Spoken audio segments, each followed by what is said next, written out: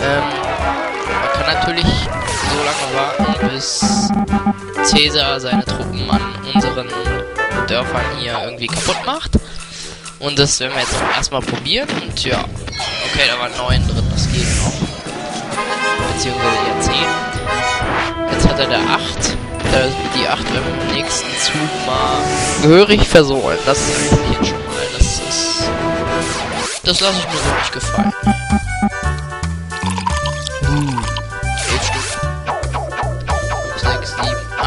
Acht. Acht Stück reichen, glaube ich, gegen neun, wenn ich mich da nicht täusche. Wenn nicht, schicken wir noch einen nach, sollte das reichen. Jawohl. Das hat gereicht. Das ist ja unglaublich. Damit haben wir schon mal einen sehr großen Teil seiner Armee einfach so ausgeschaltet. Finde ich schön. So, was nehmen wir jetzt an? Hm, ich bin mir gerade etwas unschlüssig. Nebenbei sollten wir unsere Verteileinheiten vielleicht mal so ein bisschen gebrauchen. Ist vielleicht recht sinnvoll. Denn von hier oben brauchen wir nichts mehr. So, hier hin. Hier hin. So. Jetzt haben wir oben alles rausgezogen. Das ist okay. Das brauchen wir nicht mehr. Dass er das erobert, war klar, aber das ist uns relativ egal. Äh, Stellungskrieg FTW, ja. Wobei auch immer nur einer stirbt, aber ja. Oh, von da unten ist er jetzt mit acht Leuten gekommen. Da macht er jetzt aber ganz schön Feuer. Uh, das äh, wird mal interessant, glaube ich. Ja, komm, den letzten können wir da auch noch reintun, also. Da brauchen wir nicht sparen. Wieso auch? So. Und nun? Hm. Und nun? Greifen wir am besten. Am besten. Am besten. Hm. Die hier. Und dann würde ich nochmal behaupten. Die links. Ist, glaube ich, das sinnvollste. Wenn wir nämlich jetzt alle Gebiete hier rund um diese Hauptprovinz eingenommen haben, dann brauchen wir uns um die keine Sorgen mehr zu machen. Und das äh, hätte diverse Vorteile. Hier können wir auch mal alles rausziehen, das brauchen wir nicht mehr. Hier können wir auch alles rausziehen. Und hier oben ziehen wir nochmal nach hier. Genau. Da kann er sich dann nämlich nochmal die Zähne ausbeißen, wenn er will. Oh. Okay. Vor allem hat er da elf Leute drin. Mein Gott. Ja, gut, das war aber sein Angriff. okay, dann, dann ist es okay, ja. Dann beschwere ich mich nicht. Ein paar hier rein, ein paar hier rein und den Rest hier rein. Und greifen mit fünf Leuten die fünf Leute an, ja, genau. Jetzt geht's aber los hier. Juhu. So, und nun? Hm. Ich behaupte, wir machen jetzt mal zunächst mal die hier. Das ist schon mal recht sinnvoll. Und danach, danach, danach, danach. Ich habe ehrlich gesagt keine Ahnung. Ich glaube, wir machen hier unten weiter. Ja. Hier unten das Gebiet ist mir am freundlichsten. Oh, Römerkegeln. Das ist eines der schwierigsten Minispiele meiner Meinung nach. Benutze den Felsbrocken, um die Römer in der vorgegebenen Zeit umzustoßen. Ja, eigentlich recht einfaches Spiel. Moment, ich muss aber trotzdem nochmal... Drücke die Angriffstaste zum Römerkegeln. Okay, ja. Boah. ja, okay, das ist, äh... Ich finde, das ist eine lustige Idee.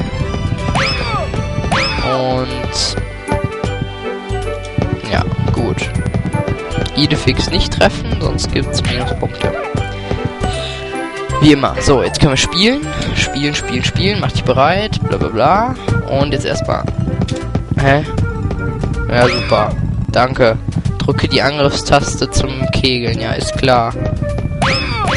Vor allem, weil Enter auch so eine Angriffstaste ist. Och man, das war dumm. Also im Römerkegeln bin ich definitiv ein Versager. Das kann man so festhalten. Uh, drei Leute. Ach, das war dumm. So, komm, komm, komm, du, du, du, du, jawohl, Nummer 3, komm, jetzt aber. Jetzt geht's aber los hier. Ah, der hinten ist zu lahm. Nein, wieso trifft der den nicht? Nein, nein. Ja, komm, zwei. Jetzt brauche ich nochmal einen Dreier. Jetzt muss nochmal ein Dreier her. Nein, Idefix. Nein. Oh, du knapp. Ah, und da kommt er nochmal. Oh, nee. Nee. Zwei. Eins. Nein. Du hast verloren. Super. Schade. Und das war dann auch unsere Angriffsphase. Römerkegeln, wie gesagt, eines der für, für meine Verhältnisse schwierigsten Spiele. Bin ich so der Meinung jedenfalls. Oh, ziehen wir alles mal nach hier. Können wir noch was nach hier ziehen? Genau. Wunderbar. Im Dorf brauchen wir jetzt erstmal nichts. Da soll er erstmal hier ankommen. Uh, mit zwei Leuten hat er drei geschlagen.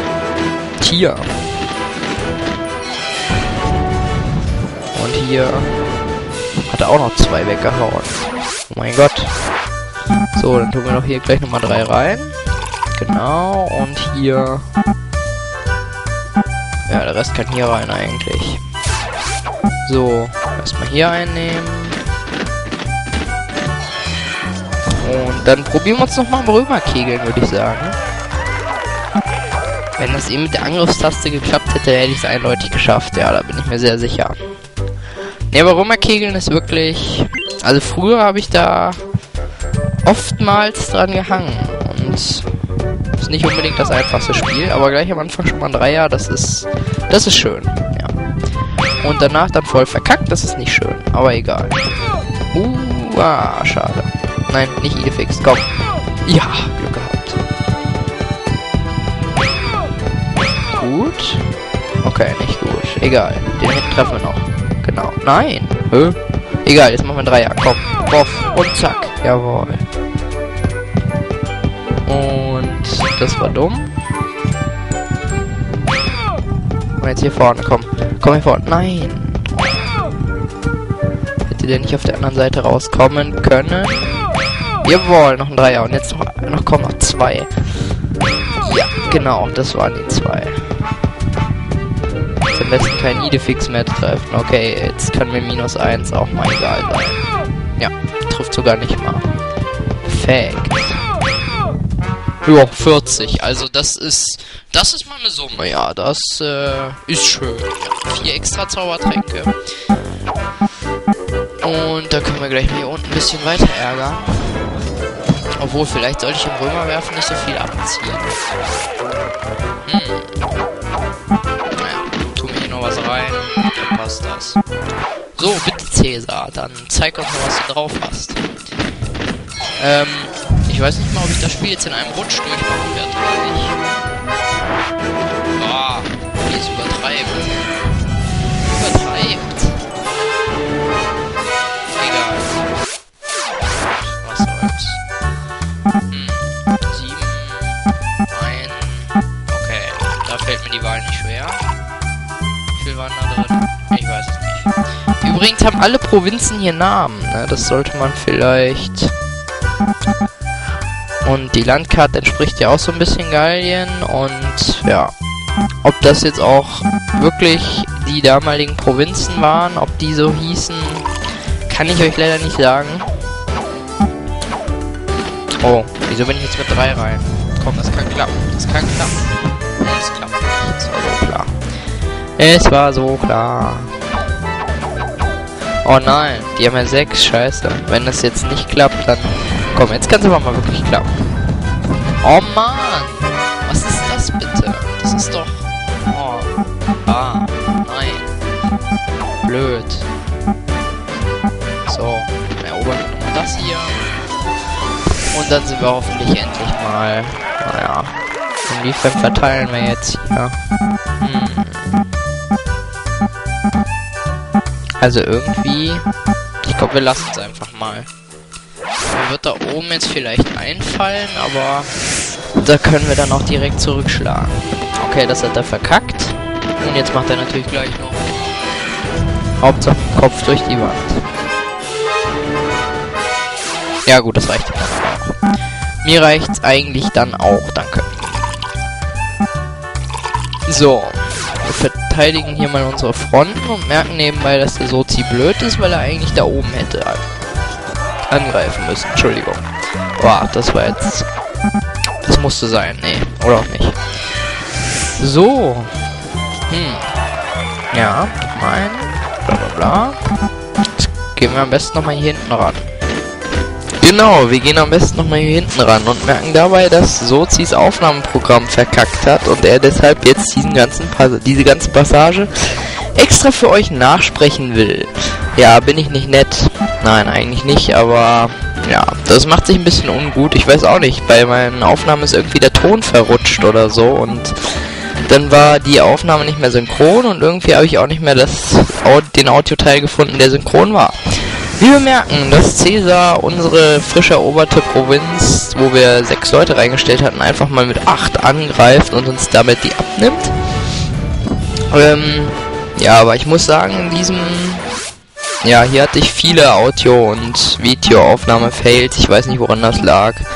Ich glaube, mein PC verträgt das Spiel nicht oder so. Ist ja auch eigentlich für Windows 98 gedacht.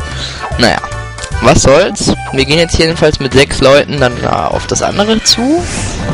Und schaffen es auch das zu erobern. Ist das nicht schön? Ähm, zum Glück ist das keine allzu lange Passage, die ich hier nachspreche. Und jetzt kommen wir nochmal zu einem Minispiel, das sich Hau das Fass nennt. Hier müssen wir ja alle, Fässer, äh, alle Gegner besiegen und die Fässer zertrümmern und das fliegende Fass springen, äh, finden und das dann dagegen springen, genau. Irgendwie so. Äh, wir machen eine skillige Attacke und hauen den Legionär auf den Boden mit seiner eigenen Lanze, mit seinem eigenen Speer, keine Ahnung, wie man das nennt, Speer wohl eher. Ähm, machen hier alle Fässer kaputt, damit wir uns die Münzen holen. Denn wenn wir alle anderen Fässer, also das war das fliegende Fass, wenn wir alle anderen Fässer vorher öffnen und uns die Münzen holen, bekommen wir extra Zaubertränke. Wir haben jetzt alles geholt und bekommen dafür fünf Zaubertränke extra. Wer hätte das für möglich gehalten? So, mit den fünf Zaubertränken, die wir extra bekommen, können wir natürlich auch gleich nochmal in die Offensive gehen und uns hier unten die unterste Provinz neben der Piratenstadt holen. Ja, die Piratenstadt. Wir werden später noch viel Spaß damit haben. Oder auch nicht. Je nachdem, wie man das sieht. So. Dann verteilen wir nochmal unsere Fronten. Äh, merken dabei, dass wir nicht überall fünf drin haben und da oben immer noch vergessen haben zu verteilen. Und Caesar geht natürlich mal wieder voll ran mit seinen sieben Legionären. Voll auf uns drauf. Ach, was soll's. Und auch da oben macht er uns jetzt die Grenzen strittig. Solange er nicht direkt neben unserem Dorf landet, ist das aber alles noch keine wirkliche Bedrohung. So, da oben füllen wir jetzt mal ein bisschen was rein, damit wir da wieder zurückschlagen können. Nebenbei füllen wir hier unten dann noch die letzten drei rein, damit wir auch da wieder die Provinz zurückerobern können. Und gehen gleich mal mit 3 gegen 3 in dieses Dorf schaffen es auch, das zu erobern. Und da oben nehmen wir jetzt sechs Leute, gehen auf das zu, aber es war vollkommen unnötig, weil es sowieso nur ein Minispiel war. Beim Minispiel kann man auch sogar mit einem einzigen, wenn man das Minispiel schafft, die fünf, die drin stehen, besiegen. Von daher war das ein bisschen übertrieben. Dafür bekommen wir, wenn wir ein Minispiel mit mehreren Zaubertränken reingehen, mehr Zeit und ja, auch mehr Leben, zum Beispiel bei Hau das Fass. Also wir bekommen jedenfalls Vorteile. Und irgendwie merke ich, dass ich in diesem Spiel irgendwie ganz gut bin. Bis jetzt noch keinen Fehler gemacht. Das ist nicht schlecht, ja. Äh, jetzt noch die beiden weghauen und den und den und den und den. Ja, genau. Oh, noch zwei Centurios. Bis jetzt immer noch keinen... Oh ja, Trubadix verhauen. ist natürlich immer bitter, aber Trubadix zu treffen, die Wahrscheinlichkeit ist sehr gering. Weil der eben so schnell hin und her... Ja, 67 Punkte, 4 Zaubertränke extra, das ist fast das Maximum. Auch das wäre hiermit geschafft. So. Ja, dann können wir da oben natürlich mit den frisch gewonnenen Zaubertränken direkt wieder in die Offensive gehen. Und uns nochmal das nächste Dorf erobern.